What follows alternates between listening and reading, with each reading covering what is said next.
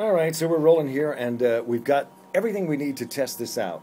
We have got Legos, the loose pieces, and we have Bernie's constructed piece. Yeah, it's uh, it's an LA condo. Yeah, yeah, and, and the reason it's this size is because it won't fit in our water bowl if we make it any bigger. Now here is the water bowl, cleverly disguised with a KPEL logo underneath it. Nice, good job. All right, and because we want to do fresh water and salt water, we have the fresh water, and we have Oh, the little salt the girl. salt. Okay, so let's see if an individual piece will float first off. Okay. Okay, Here's an try it. individual piece. I'll lay it carefully. Now, surface tension's going to hold it there. Let's see what happens.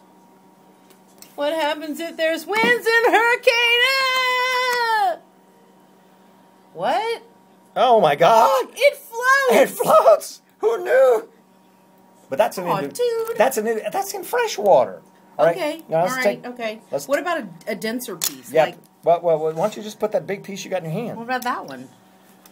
That floats too. Legos float. I thought they'd be heavier than that. Me too.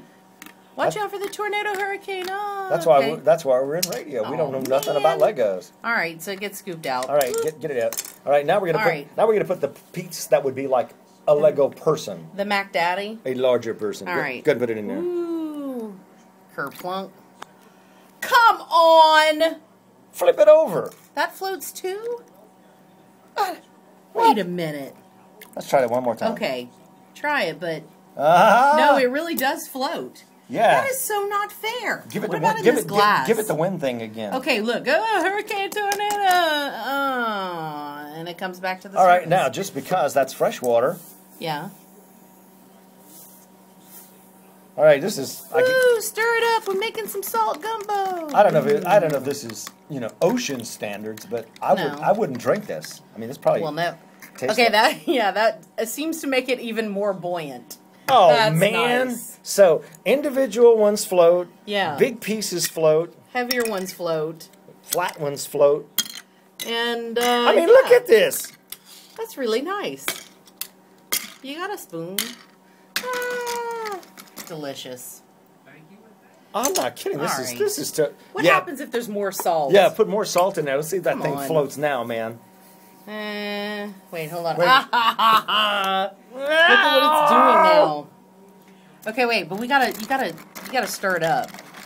Hey, don't, don't man. don't wet the electronics, man. Okay, we'll I'm be in sorry, big trouble. yeah. We'll be in big, big We'd trouble. have to call the fire department. Yeah. Okay, so really, no matter what you do to them, they float.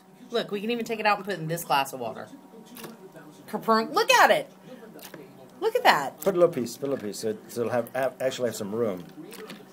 Yeah. Man, who knew Legos float? So maybe those Neanderthal-looking things on the beach. Yeah. Cool. I think you're right. I think, uh, I think this was a good experiment. Hmm. Of course, we tore up a classic toy, but you know that doesn't matter. Mr. Science has nothing on us.